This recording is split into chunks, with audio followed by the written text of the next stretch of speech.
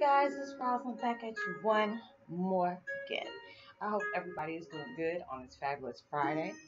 If this is your first time coming to my channel, welcome. Namaste, love and blessings to you. And I'm glad you came to see what I'm about. And if you can do me the honor as please like and subscribe. Even hit that notification button. And even hit that bell so you know when I'm about to upload my video. And if you feel like you resonate with my video, even please give me a thumbs up and drop a comment if you feel free. No pressure.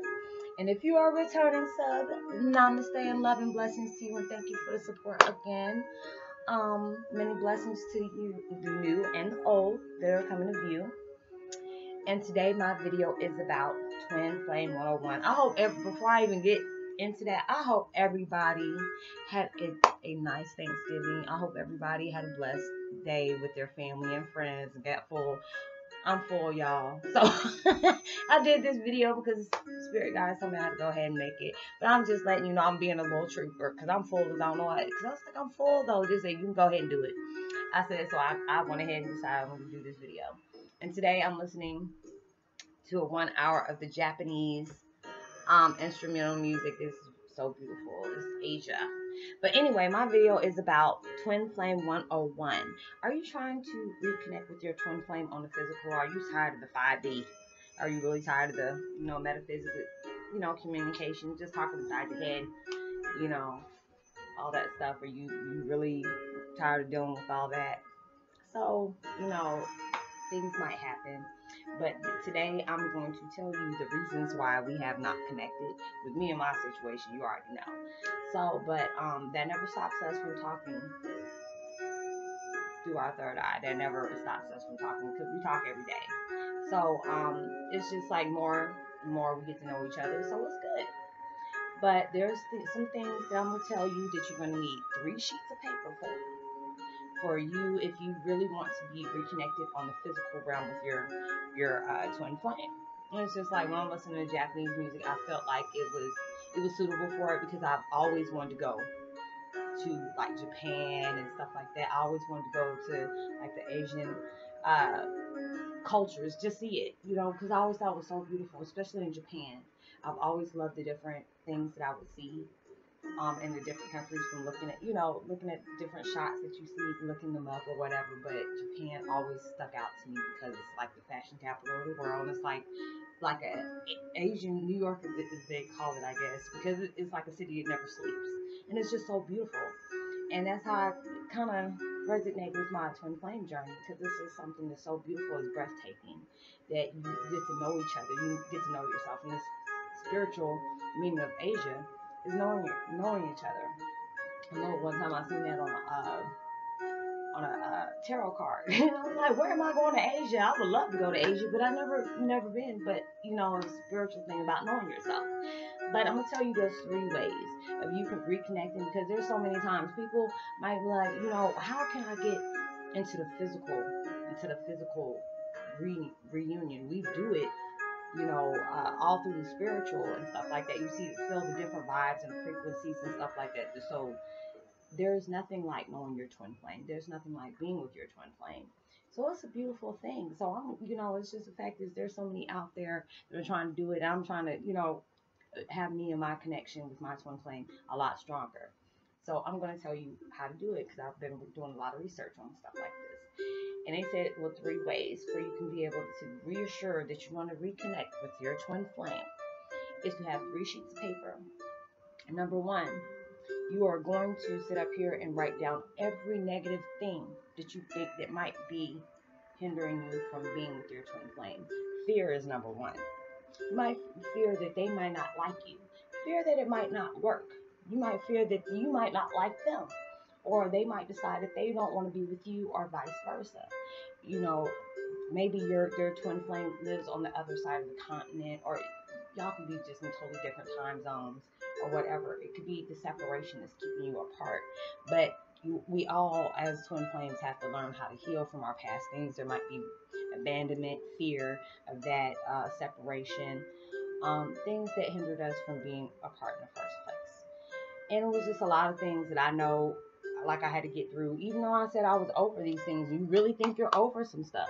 There's going to be some things that are going to reoccur in your life, and then whatever you're reoccurring that is negative, we have to learn to let go of those things. And we do. I, I'm, I'm, I'm, I'm a suspect of doing it myself.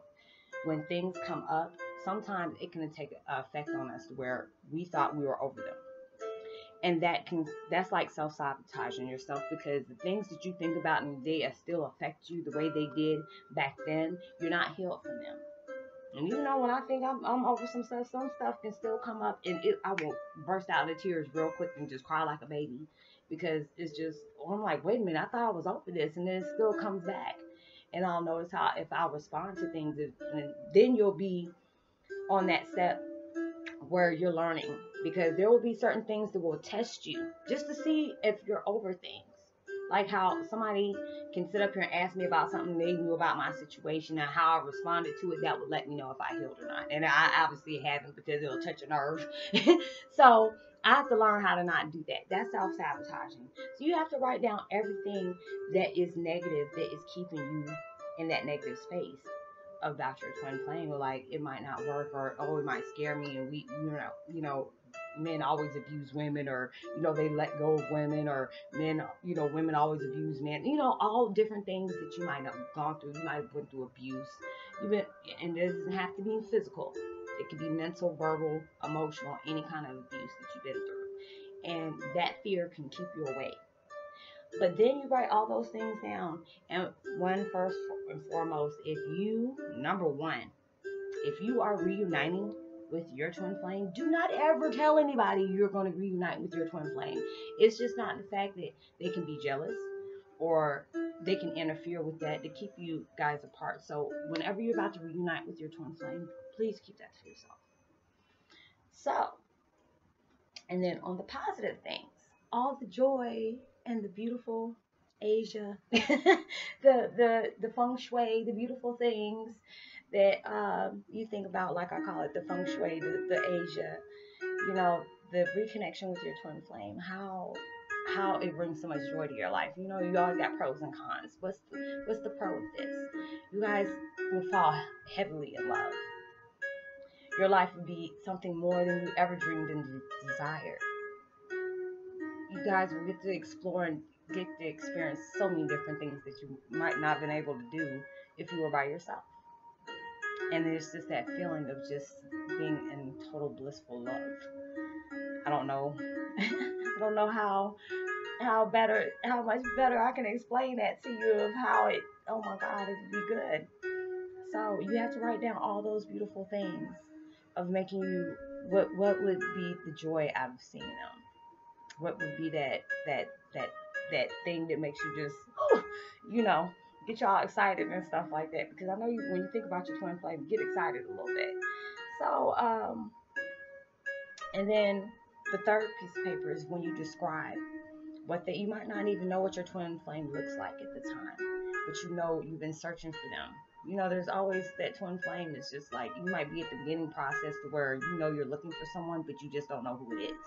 So you imagine what they look like, what they smell like, what their demeanor would, you know, what would they probably say to you when they first see you. Um, what would you guys do together? You know, when you imagine those things, you, you like you're thinking you already have them, and you talk on talking talking about them in present tense. It will bring you closer to your twin flame. So just don't think just because it hasn't happened yet, it does it's not to happen. Because you have to actually go through a healing process to get rid of things. You never know they could be healing on their own because whatever you're going through, they're going through it too. So it's like everybody has to heal because you don't want to be jumping into a relationship and y'all both be jacked up for each other. Then it won't last. So you got to make sure everything's clear. Your karmatic stuff, even things that you have went through in the past, you know, like past lives or something like me coming back. You have to let go of all those things if you want to be back with your twin flame. You have to let go of all that stuff because you have to think, you know, who you want to do this with, who do you want to be with, and then you'll be able to reconnect back with your twin flame. So I'm not trying to hold you guys up today, and I hope that will be able to help people if you're trying to reunite, reunite physically on the physical realm with your twin flame. So I hope everybody has a blessed weekend. Enjoy your Friday. I know I am. A lot to relax and probably watch some movies with my daughter.